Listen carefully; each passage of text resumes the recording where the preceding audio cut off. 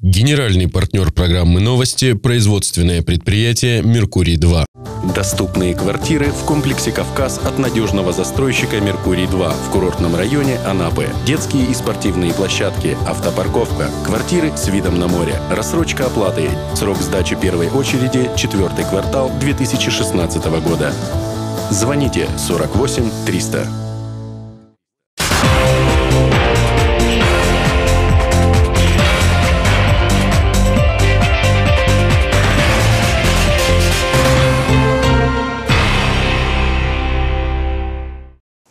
Эфир канала РЕН-ТВ продолжает новости Анапа регион. В студии Ирина Меркурьева. Здравствуйте. Итак, смотрите сегодня.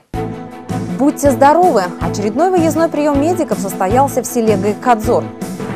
По следам прямой линии главы Анапы. По поручению Сергея Сергеева в хуторе «Заря» оперативно завершили установку светового оборудования на центральных улицах. Дань памяти. Открытие мемориальной доски Павлу Саркисьяну состоялось в минувшие выходные. Закрытие туристического сезона в Атамане приурочили к событию огромного значения для Краснодарского края. Такого урожая риса в миллион тонн не было с 80-го года на кубанских рисовых просторах. На чествование рисовода в Атамане ждали самого президента, поэтому на холодный ветер не сетовали. На видном подворье анапчане жарили картошку и пирожки, грелись у печки и, конечно же, пели и танцевали. Не нагляделись, мои глазеночки, на кого хотелось. Поскольку праздник был посвящен рису, угощали гостей блюдами из риса. Перец фаршированный, пирожки с рисом и яйцом, а главное – каши.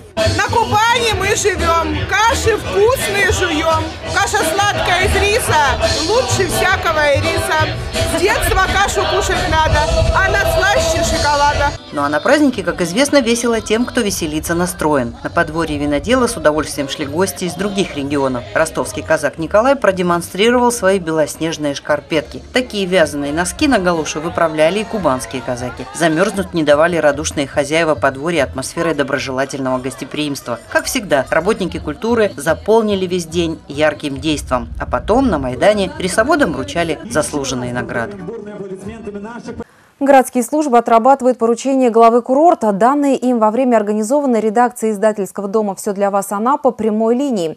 Один из позвонивших, житель хутора «Заря» Александр Анатольевич, рассказал Сергею Сергееву, что на двух центральных улицах опоры линии электропередачи заменили, а освещение не подключили. Поручение главы Анапы оперативно завершить начатое сегодня выполнено. Реконструкция и монтаж уличного освещения в Заре идет полным ходом. Силами районных электросетей здесь появились новые подстанции, заменены километры старого кабеля на современные изолированные провода. Сегодня бригады электриков выполняют монтаж уличных светильников и прокладывают воздушный кабель для электропитания. На этом поселке придется заменить около трех километров линии. То есть, э, ну, оно уже будет новая линия, торсады будут новые, новые светильники, ну, все новое будет, она какая-то делать. Новые узлы учета будут, которые установлены, как вы видите, э, подстанция, которая вот находится здесь у нас, э, РУ-04, это установлена районными сетями. То есть качество будет хорошо, и людям будет хорошо, и детки в школу наши будут ходить, со школы выходить по освещенным переулкам. Житель хутора Валерий Николаевич перемещается только на инвалидной коляске. До последнего времени его прогулки были ограничены только светлым временем суток. Теперь, говорит, можно передвигаться по хутору и вечером. Это очень-очень хорошее дело. Особенно как смеркается. Ничего не видно. Дорога узкая, сами видите. Правильно я говорю? Пешехода нету, приходится по дороге идти. Освещение очень-очень нужно. Где же новые опоры? Кабель кинули 380, по-моему, уже лучше напряжение будет. Вот такие-то дела. Над монтажом уличного освещения работают две бригады. Несмотря на погодные условия, все идет по плану и согласно сроку, который согласован с администрацией города. Только на центральной улице их планируется поставить около 20. После бригады приступят к монтажу на других улицах. Полностью уличное освещение в хуторе Заря заработает уже в конце ноября. Завершается первый цикл детских дней здоровья, когда врачи востребованных специальностей из городских лечебных учреждений проводят выездные приемы в сельских округах. Мероприятия организованы и проходят по поручению главы Анапы Сергея Сергеева, который поддержал инициативу общественников. Родители говорят об удобстве, медики о полезности. На одном из таких приемов побывала наша съемочная группа. Фактически готовая агитка за детскую диспансеризацию. С самого утра в коридоре амбулатории многолюдно. Здесь жители самого села Гайкадзор Озер, а также хуторов, входящих в округ. В кабинетах принимают специалисты из городской детской больницы. Хирург, лор, невролог. Работает аппарат ультразвуковой диагностики. Всего 7 докторов. Я бы сегодня хотела поблагодарить главу города, а, главврача детской городской поликлиники за сегодняшний день, за День здорового ребенка. Это очень важно для того, чтобы на ранней стадии определить какое-то, найти, обнаружить э, заболевание и начать это лечение. Потому что деточки, э, особенно дети малого возраста, очень хорошо регенерируют, быстро растут. И если вовремя начать лечение, то очень много можно поправить что-то, чтобы они потом выросли здоровыми, крепенькими и умненькими. Очередь движется достаточно быстро. За первый час медики осмотрели около 100 детей. Мурас и мама Галина живут в Гайкадзоре. О приезде специалистов на местах рассказывали всеми доступными способами. Галина о дне детского здоровья узнала от педиатра, у которого наблюдается Мурас. Врачи всегда звонят нам, узнают, как дела, когда прививки делать, всегда звонят, интересуются после прививок как состояние ребенка. Очень довольна. Быстро, хорошо всех прошли специалистов. Конечно, намного лучше, чем ездить в город.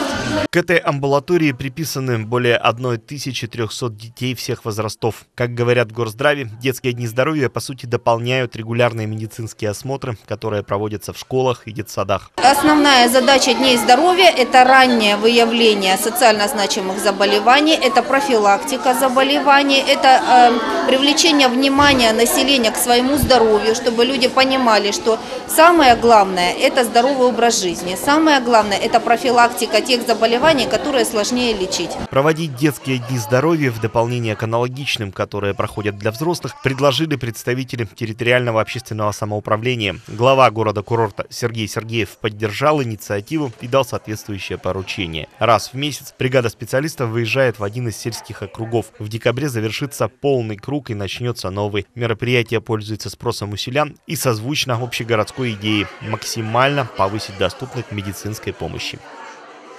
История города неразрывно связана с именами людей, чьи таланты и трудовая доблесть служат предметом гордости анапчан – в минувшие выходные состоялся митинг памяти и открытие мемориальной доски Павлу Сергеевичу Саркисьяну.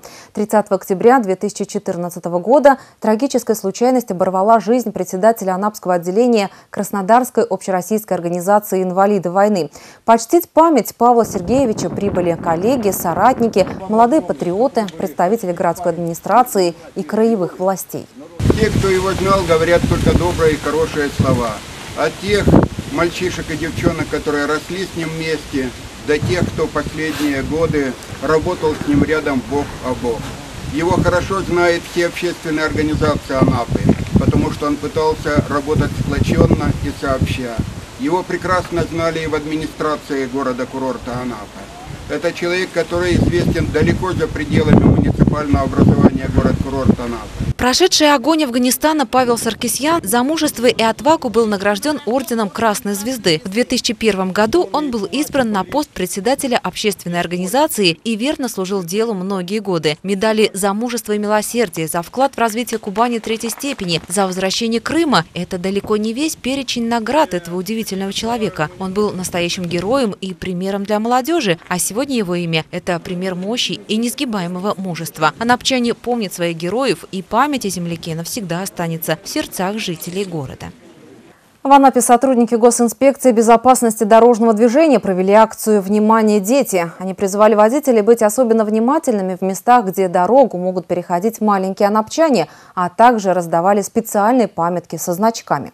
Такой значок – самое простое устройство, которое в итоге может избавить пешеходов от опасных случайностей. Его можно закрепить, например, на боковую часть школьного ранца. Это актуально для города-курорта с наступлением зимы, когда темнеет достаточно рано. Световозвращающие эмблемы, значки помогут пешеходам оставаться видимым на территории дорог в ночное время, а также сокращает риск совершения дорожно-транспортных происшествий. Светоотражающие элементы можно приобрести в военторгах. Также многие производители одежды э, шьют одежду уже с э, данными элементами, то есть, которые позволяют быть заметными в ночное время суток.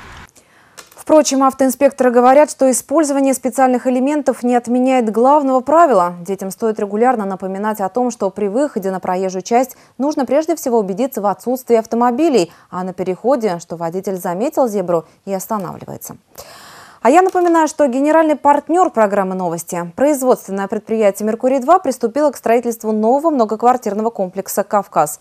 Все новости вы можете найти на нашем сайте. Я с вами прощаюсь. До встречи. Доступные квартиры в комплексе «Кавказ» от надежного застройщика «Меркурий-2» в курортном районе Анапы. Детские и спортивные площадки, автопарковка, квартиры с видом на море, рассрочка оплаты. Срок сдачи первой очереди – четвертый квартал 2016 года. Звоните 48 300.